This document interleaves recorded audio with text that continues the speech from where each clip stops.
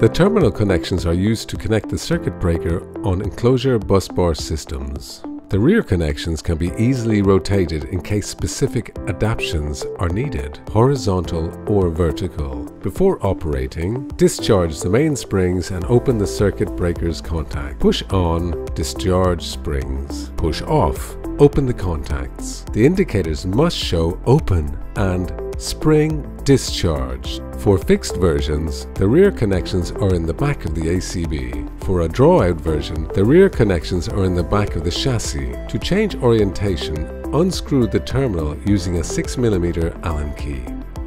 Remove the two screws.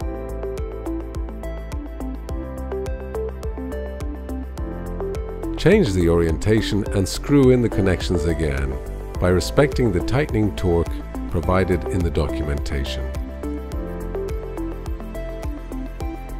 The rear connection can be turned either horizontally or vertically.